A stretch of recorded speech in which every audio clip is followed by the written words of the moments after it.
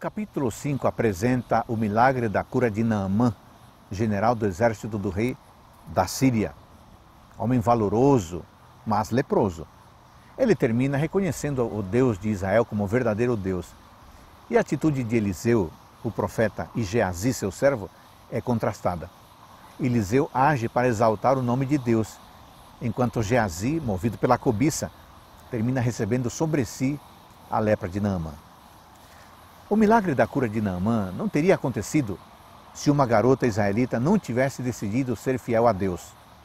O texto diz: Tomara o meu senhor estivesse diante do profeta que está em Samaria, ele o restauraria de sua lepra. Verso 3.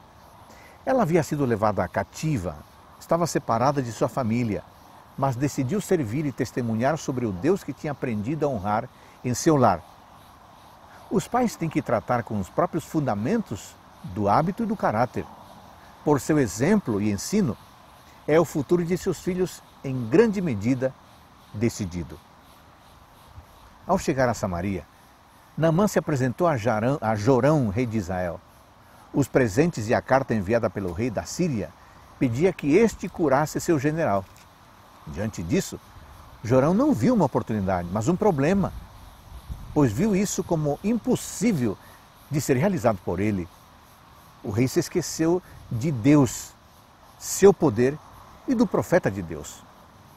Quando o ser humano vê algo impossível, geralmente se esquece de que Deus é quem pode agir e tomar tudo e tornar isso que é impossível algo possível para a sua honra e glória. O profeta Eliseu, sem falar com Naamã, ordenou que ele fosse mergulhar sete vezes no Rio Jordão. Diante dessa ordem, Naamã reagiu com orgulho. Considerou que não havia recebido um tratamento digno de sua posição e se negou a cumprir a ordem. No entanto, seus servos o convenceram a cumprir a ordem.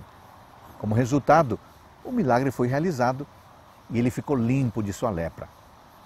O orgulho leva o ser humano a descartar os métodos de Deus e a considerar que os seus são melhores. A fé e a obediência voluntária trazem consigo a bênção divina. Naamã, agradecido, tentou honrar o profeta de Deus pelo milagre realizado, dando os presentes que trouxera.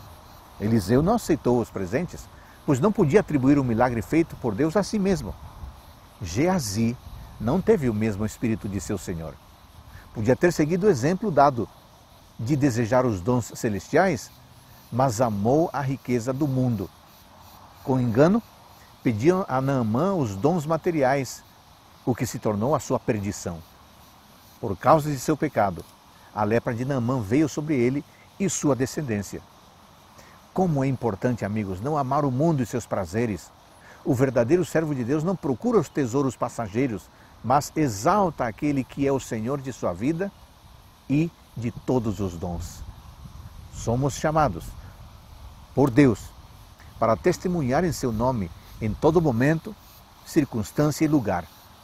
Muitos poderão ser alcançados pelo poder de Deus por meio do fiel testemunho daqueles que, com sinceridade e fidelidade, engrandecem, engrandecem o Senhor de sua vida.